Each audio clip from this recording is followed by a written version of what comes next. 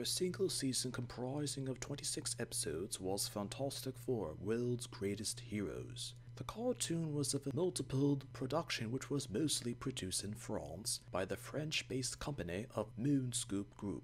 Information now known that prior to 2008, Marvel Studios did not exist, and any real properties of Marvel Comics characters or even affiliated media for Marvel had a looser standard of similarities to their comic-based counterparts. Information further had that Marvel executives at the time let the French-based leadership have free interpretation or even depictions over the Fantastic Four characters, and a good amount of them didn't actually check the source material of the comic book related content. Rather, the world's greatest heroes featured or depicted entirely new stories of the characters, and the said characters were interpreted distantly to the comics. The series was also aired in France within the French language, as when it was dubbed into the English language, the link synchronization wasn't seen as well, and there were multiple instances of the English language dialogue not fitting the speech patterns of the characters on screen. When originally aired in the United States, the series had an often erratic and unpredictable schedule,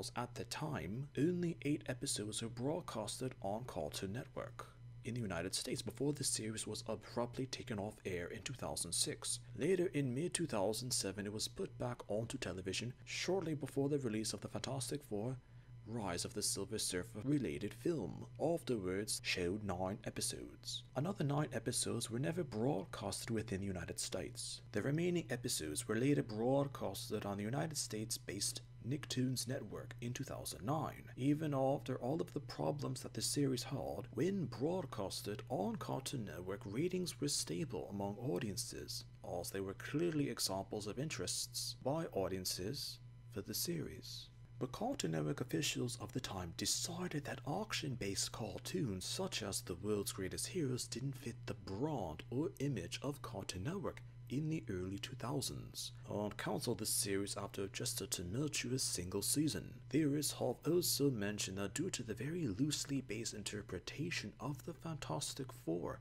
in this particular cartoon, the series would have had possible problems later on if the series hadn't been cancelled, due to the fact that these more original based stories or depictions of the characters could or would only be accepted by viewers for only for so long before the viewership based audience wanted or desired, even needing something more similar to the comics. A character could be overrated yet hated because they had no quality control, and as a result, a loosely based adaptation of them were made, but quickly forgotten.